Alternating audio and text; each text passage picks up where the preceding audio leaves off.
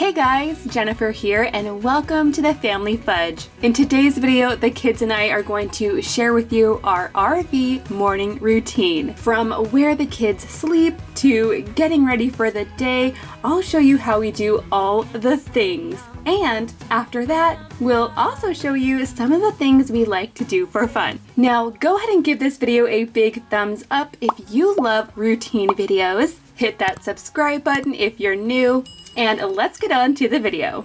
Now, of course, step number one is to wake up. Sometimes, if we're on a road trip in the RV, we will wake up early. That way we can get on the road. But if we're at a campground, we like to sleep in as late as we can. Well, everyone except for Mackenzie. She is definitely my early riser, so usually she'll already be up and she usually just sits quietly and plays her Switch until everyone's awake. Now, you might think that breakfast would be the next step, but it's not. Step two is to tidy up the RV. That way we can have breakfast. This RV is not super spacious, but I do my best to make it as comfy and cozy as I can. So that means lots of blankets and lots of pillows. In fact, it's because there are so many and because the girls' bed turns into the table that we need for breakfast that it's become our rule that there is no breakfast until we get it all put away.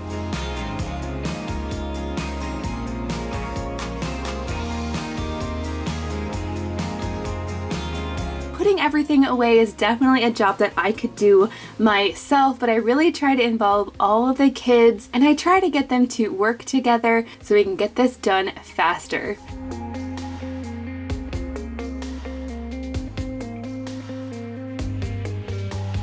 During the day, I like to store all of the bedding and the pillows in these super helpful collapsible laundry baskets. Now, I found these at Sam's Club and they are the perfect way to keep everything up and out of the way. We just keep them on the top bunk because during the day we're not really using the top bunk.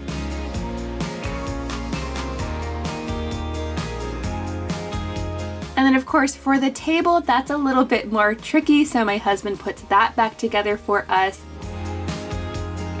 And I know a lot of you asked about the seatbelts in my last RV video. The seatbelts are actually in this area too, but of course while we're sleeping we just tuck them away. Once that is all done, it's time for step three, which is to make breakfast. If we're on the road traveling, breakfast is something quick and easy. So bagels, cereal, things like that. Since on this camping trip we were actually staying at the Disney campground Fort Wilderness, I had to make these Magic Kingdom waffles for our breakfast. Now I call these Magic Kingdom waffles because they are pretty much the same thing you can find near the castle in Magic Kingdom, except I go ahead and use toaster waffles to make things easy and I don't slather the waffles with Nutella. I just add a tiny bit. Then I top these waffles with fresh strawberries, blueberries, and bananas. And then on top of that, I add just a tiny squirt of whipped cream. This is definitely a special occasion breakfast, not something we have all the time. To go with these waffles, I also heated up some egg and cheese muffin cups. One of the things I like to do before we go camping is a little bit of meal prep. And these egg muffins are perfect to make ahead.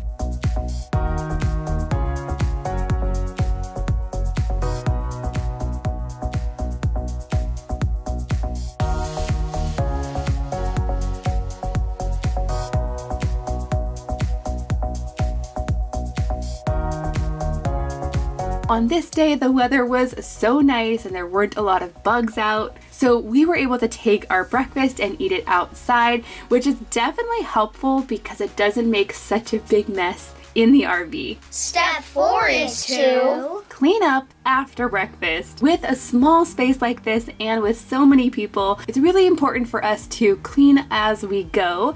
That way the space doesn't get all cluttered and dirty and overwhelming. I do have to say though that one of the great things about the Magic Kingdom waffles and the pre-made muffin cups is that cleanup isn't so bad. There's not a ton of dishes or things that I need to clean. Our campsite has full water hookup so I can do all of the dishes, no problem, and I just leave them to air dry for a little while.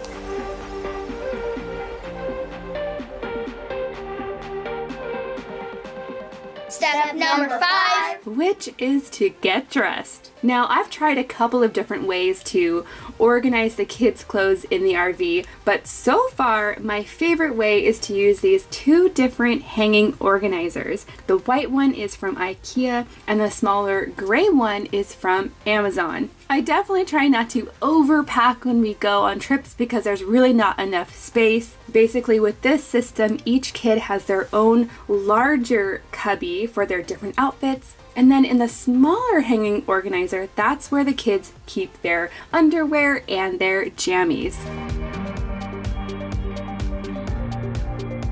Now, for my clothes and for my husband's clothes, we each just get one basket of clothes because we are pretty short on space, but we keep our stuff separate from the kids in an upper cabinet. And then in this smaller closet is where I keep any jackets or any of my clothes that I like to keep on a hanger. Now, with the kids' clothes, I do like to fold outfits together in bundles ahead of time. So each little bundle has a top and a bottom. The kids can see all of their choices and easily pick out which outfit they want for that day.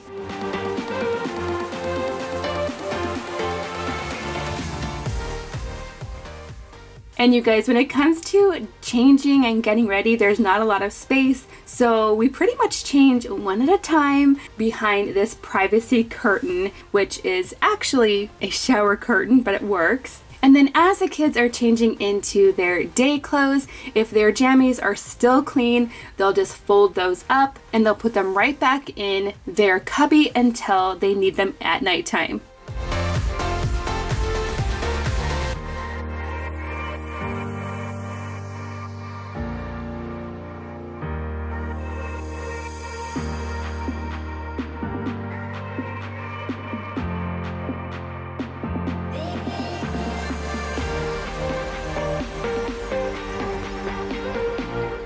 Step number six. is to fix hair. Now, it's during our bedtime routine that the kids take their showers, and since the shower in our RV is tiny, we like to use the bathhouses at the campground instead. And you guys, the bathhouses here at Fort Wilderness are actually really nice and very clean. After showers, I like to take a little bit of extra time to condition the girls' hair to get all of their tangles out, which sometimes takes a long time. And then I like to put each girl's hair in a braid to sleep in. Doing it this way really makes things a lot faster and easier in the morning because all we have to do is take out the braid and then brush it out a bit. I usually help Lily with her hair. She's been growing out her bangs and as you can see they are super long so I definitely need to put those in a ponytail to keep them out of her face. But then Mackenzie, she's old enough now that she prefers to do her own hair. Now, after that point, we totally believe in the camping hair, don't care phrase. And that just means we're pretty much done. We don't do anything fancy or elaborate with the hair. If we were going into one of the Disney parks, the girls would go ahead and pick out which Minnie Mouse headband they wanted her that day. But if we're just hanging around the campground for the day, we like to go with hats. Now, as you can see, the girls' hair was pretty easy, but the boys' hair is even easier. They don't even really need to brush their hair. It's already clean because they showered the night before. So they just pick out which hat they want to wear and then they're on their way. Step seven. Brush teeth. This step is pretty self-explanatory, but I do like to keep all the toothbrushes and the toothpaste in this one compact holder. It fits everything perfectly, but since our RV bathroom doesn't fit everybody perfectly, we just end up brushing our teeth one at a time. Step number eight is to have fun. Our first activity for this morning was to decorate our golf cart. The Disney campground campground is ginormous, so one of the best ways to get around the campground is by a golf cart, which you can rent there. Now, because there are so many golf carts and they all look the same, it can be kind of tricky to find yours amongst the sea of carts. Adding a few decorations to your golf cart is a popular thing to do.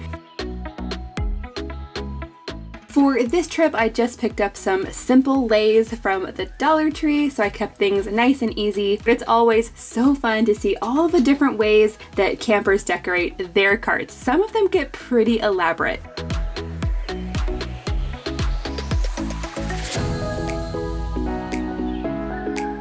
Next up, a little bit of shopping. At this campground, they have two stores where you can buy lots of the same souvenirs that they sell inside the Disney parks. At these stores, you can also find lots of food items. That way, if you forgot an ingredient or if you ran out of something, you can buy it here and then take it back to your camper.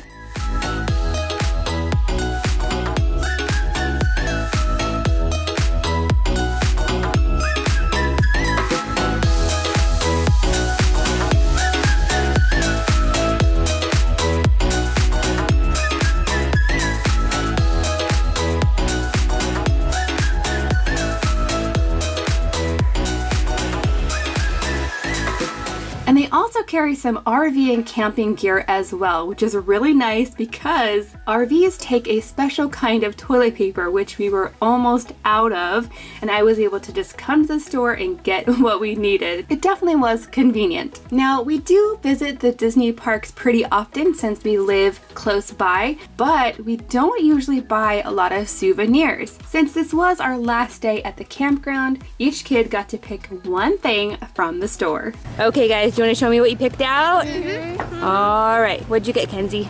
I got two of these little wishables. Ooh, Mickey and Minnie, nice. And I have this Alice in Wonderland fan right here. Ooh, does it actually work?